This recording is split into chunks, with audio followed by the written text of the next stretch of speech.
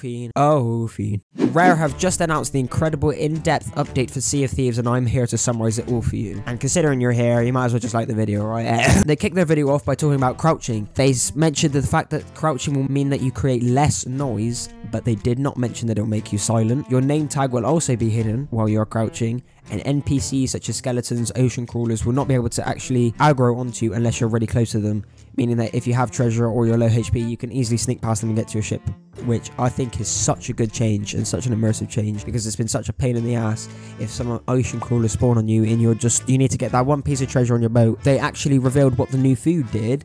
Obviously, it would have been a bit boring for them to just add a new fruit type into the game. So what they've actually done decided to do with this, in link with the theme of the season, they've decided to make it so that the food will remove all of your mermaids, which, as I said, ties in very nicely with the theme of the season. Because obviously, if you're sneaking on somebody's ship, you're hiding on the ship, you're hiding on the island, whatever, your mermaid will always reveal your position. If people, you know, if people have a good eye, then they'll realize that mermaid's not mine, so there must be somebody being a cheeky little snick boy. Alongside this, you can actually hide in barrels and chests. I mean, we already know this, but they mentioned how it actually will function. In order to hide in the different chest types, you actually have to unlock them as a commendation.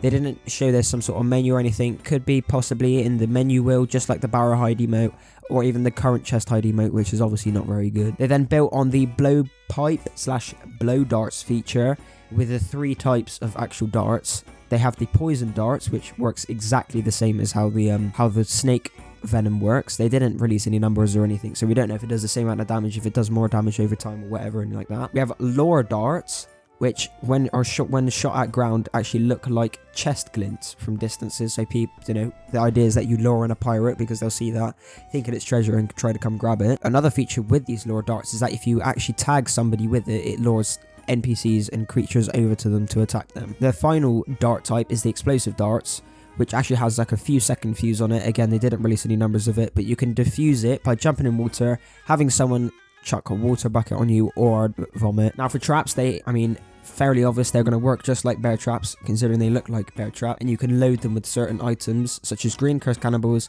fire bombs and fireworks. Green curse cannonballs, the effect of it will obviously be activated when this person steps on it. You can defuse them by actually shooting them, or if you get close enough to it, a menu will pop up and you will be able to defuse the trap and grab the item that somebody has placed in it. Then the grapple hook, obviously the grapple hook it should be fairly obvious, but it pulls loot and you can pull yourself onto islands and boat. They did mention something about the rework on the on the grappling hook. I'll put that down in this description if there is any significant change. If there's not, it won't be in the description. And obviously the new cosmetics, not surprisingly, they're black themed as in to fit within the new season. But thank you all for watching. Hopefully you're excited for this new season. I might be playing it and I might stream a little bit of it if I can find the time for it with my GCSEs and everything. But thank you very much for watching. Subscribe, like on the video. Thank you!